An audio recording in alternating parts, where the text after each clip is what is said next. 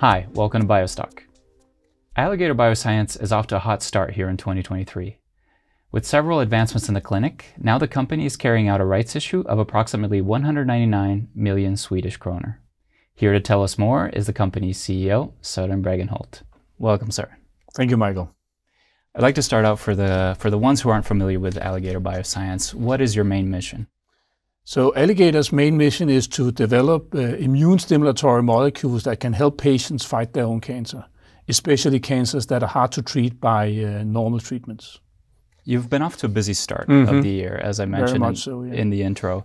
Uh, barely two days after the turn of the year, you presented the positive interim results with your Optimize 1 phase 2 trial mm-hmm. with uh, mitazalimab, uh, and that was in pancreatic cancer. Could you tell us a little bit about how those results uh, have shaped the, uh, the ongoing process with Alligator's pipeline?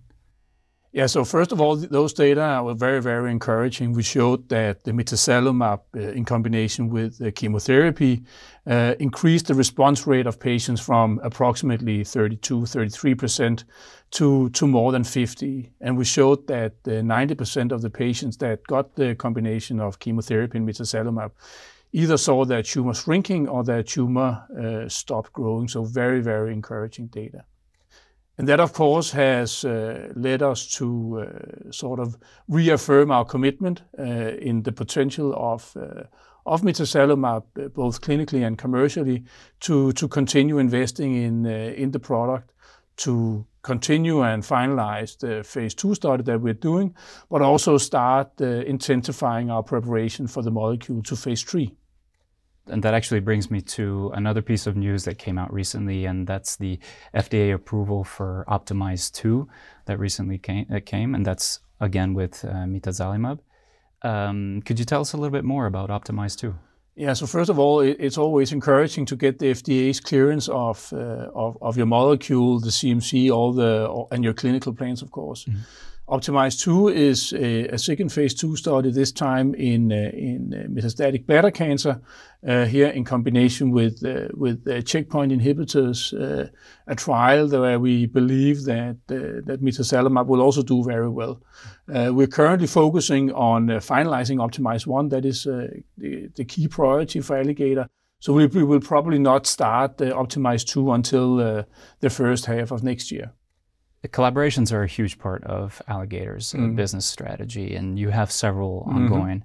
Uh, you you recently uh, mm, came out with news uh, regarding a collaboration with Aptevo Therapeutics. Mm-hmm. Uh, could you tell us a little bit about uh, about that? Yeah, so that's around uh, the molecule that we for short call 527, uh, which is a bispecific antibody, a tumor-targeted uh, immune stimulatory antibody that we have developed together with Aptevo since uh, two, 2017, and, and, we are now taking that molecule into the, first phase one trial in, in tumor types that overexpress a certain molecule called 5T4 that is specifically activating 527. Mm-hmm.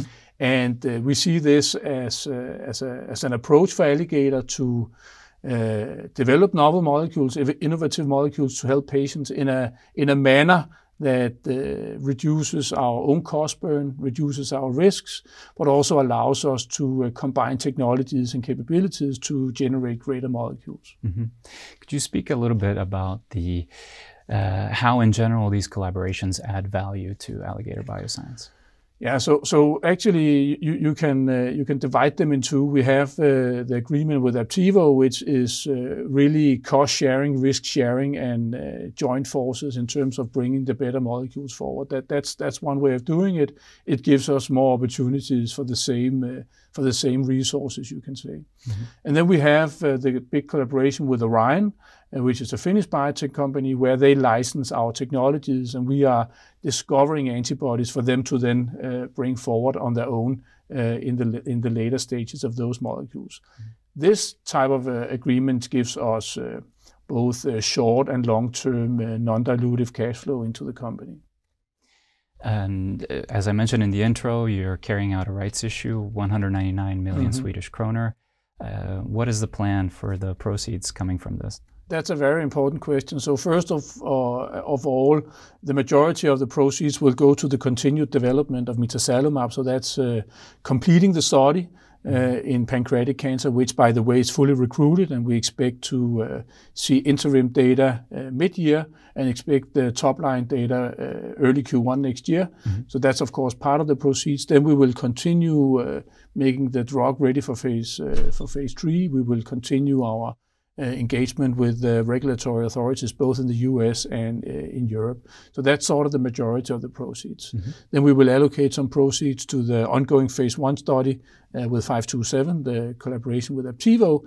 And then we will spend some money on bringing some of our other preclinical candidates forward, a molecule called 4066, Mm-hmm. Which we see as a long-term growth driver for Alligator. So that's sort of the three main buckets that the proceeds will be allocated against. Mm-hmm. Well, uh, as I mentioned at the beginning, you've had a busy start to 2023. Uh, will you get a chance to take a breather in the rest of 2023? No, there's no time to uh, to chill, so to speak. Uh, there is a lot to be done. We have uh, the Optimize One study to be uh, finalized. We have uh, phase three plans to uh, to prepare. Mm. We have partnering discussions on mitazalimab that, that, that we need to intensify. So a lot of focus there. And then, as I said, we are running phase one studies on with other candidates. We are uh, doing uh, translational research on molecules like 4066. So there is a lot to be done, and uh, we'll just continue. Yeah, sounds good. And that was our conversation with Alligator Biosciences CEO Søren Bregenholt. Thank you so much, Søren, for joining us in the studio today. Thank you, Michael. It's always a pleasure.